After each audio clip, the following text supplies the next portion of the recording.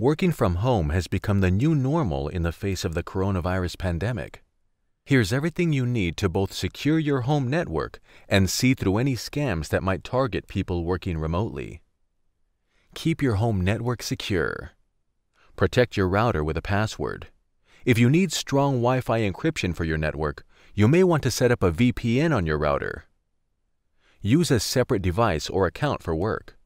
Update all of your software before you start working and make sure all the security updates are installed. Use cybersecurity tools, personal tools, from secure browsers and extensions to encrypted messaging apps will help you and everyone else stay secure. Encrypt sensitive files in transit and in storage. Ensure end-to-end encryption for your most sensitive data. There are tools that let you encrypt important files both at rest and while they're traveling through the internet. Stay informed on cybersecurity and social engineering. Fake malicious sites and scammers are a real threat. They may pose as your coworkers to try to get sensitive company information from you, so stay alert.